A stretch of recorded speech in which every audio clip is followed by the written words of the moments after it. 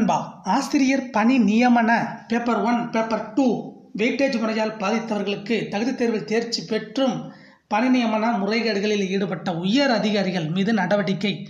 Marxist communist மாநில செயலர் வலியுறுத்தல் ஆசிரியர் பணி நியமனங்களில் TET paper one paper two weightage முறையால் பாதிக்கப்பட்டு தகுதி தேர்வில் தேர்ச்சி பெற்றும் எட்டு வருடங்களாக பணி நியமனங்கள் கிடைக்காமல் இருக்கிறாங்க என்ன காரணம் ஆசிரியர் பணி நியமனங்களில் ஊழல் முறைகேடுகளில் ஈடுபட்ட உயர் அதிகாரிகள் மீது சட்ட ரீதியான நடவடிக்கை எடுக்க வேண்டும் என்று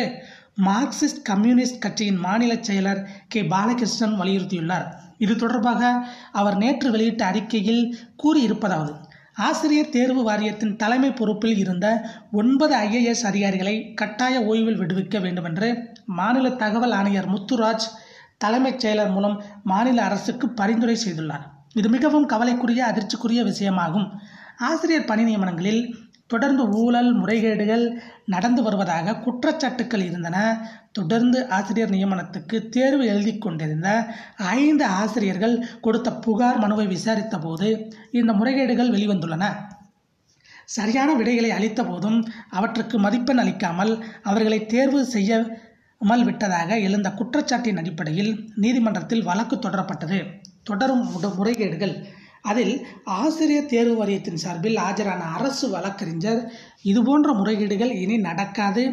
என்று உத்தரவாதம் அளித்த பின்னும் அடுத்தடுத்த தேர்வுகளிலும் இதே முறைகேடுகள் தொடர்ந்து நடைபெற்றுள்ளன எனவே சம்பந்தப்பட்ட அதிகாரிகள் மீது துறை ரீதியான நடவடிக்கை மட்டுமின்றி ஊழல் முறைகேடுகள் சம்பந்தமான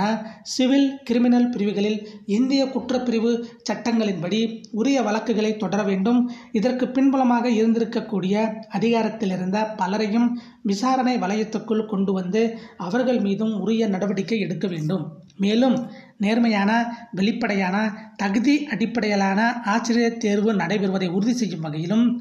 தேர்வு எழுதும் ஆசிரியர்களுக்கு நம்பிக்கையூட்டக்கூடிய முறையிலும் இந்த தேர்வுகளை நடத்த வேண்டும் இவ்வாறு கே பாலகிருஷ்ணன் தெரிவித்துள்ளார் இதே போன்ற வீடியோக்களை பெற நம்ம சேனலை சப்ஸ்கிரைப் பண்ணுங்கள் வீடியோ பிடிச்சிருந்தா லைக் பண்ணுங்கள் ஷேர் பண்ணுங்கள் நண்பா நன்றி வணக்கம்